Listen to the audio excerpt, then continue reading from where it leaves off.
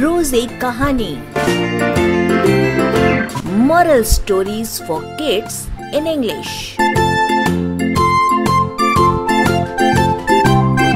The Blind Girl There was a blind girl who disliked herself just because she was blind. She also hated everyone, except her loving boyfriend. He was always there for her. She said that if she could only see the world, she would marry her boyfriend.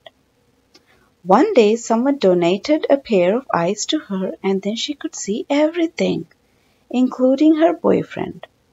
Her boyfriend then asked her, Now that you can see the world, will you marry me? The girl was shocked when she saw that her boyfriend was blind too and refused to marry him. Her boyfriend walked away in tears and later wrote a letter to her saying, Just take care of my eyes, dear.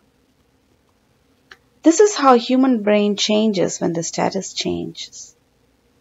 Only few remember what life was before and who's always been there even in the most painful situations. Life is a gift. Before you think of saying an unkind word, think of someone who can't speak. Before you complain about the taste of your food, think of someone who has nothing to eat.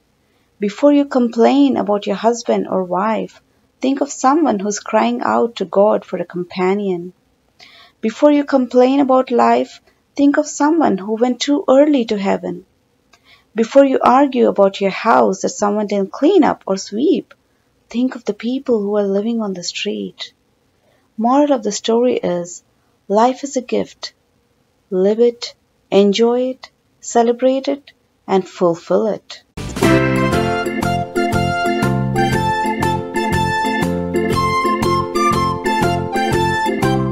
These stories are presented by Ethnic Science Foundation with collaboration of Libra Welfare Society.